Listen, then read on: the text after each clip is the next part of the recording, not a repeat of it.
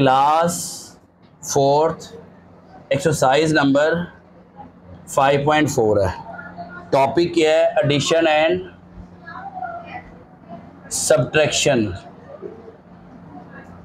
addition and किसकी addition किसकी subtraction capacity इसकी? किसकी? या यूनिट ऑफ़ मैथ की। यूनिट ऑफ़ मैथ क्या किस चीज़ का? हुजम। मतलब उसकी कितना वज़न है उसका? पहला क्वेश्चन है 89 के G plus twenty nine K G ten grams K G है और ग्राम्स है, ऊपर लिखें के जी और इधर लिखें ग्राम्स तो eighty nine K G K G के नीचे. Twenty nine K G twenty nine K G के नीचे. टेन ग्राम्स ग्राम्स के नीचे. बात समझ आई? इधर देखना मैडम।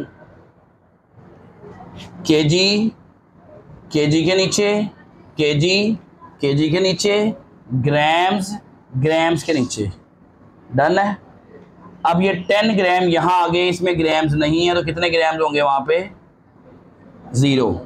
इन्हें प्लस करना है। Zero plus zero, one plus zero nine plus nine eighteen one carry.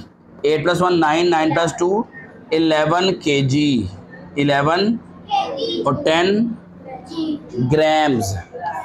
Clear है? एक और देख लें।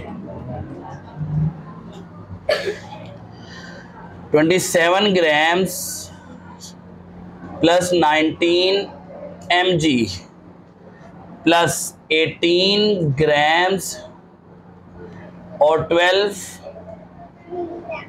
मिलीग्राम्स।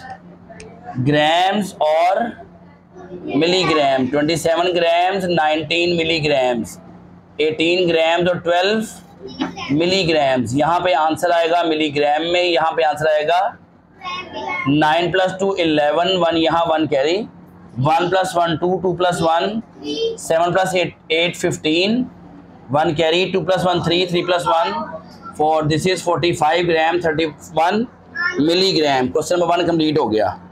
क्वेश्चन नंबर टू पे आए, वो क्या है? माइनस वाले क्वेश्चन क्वेश्चन फिर यही है। ग्राम्स एंड मिलीग्राम ये क्वेश्चन नंबर टू का डी पार्ट करवा रहा हूँ। और ये क्या था? क्वेश्चन नंबर वन का डी पार्ट ये कौन सा था?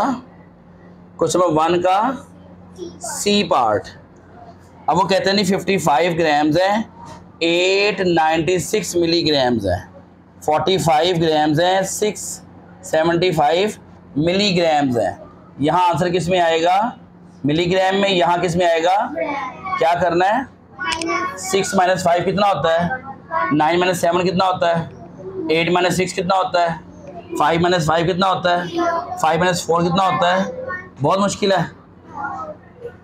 ये दोनों क्वेश्चन आपका होमवर्क है आज का। Exercise number five point four question number one and two homework on clear है?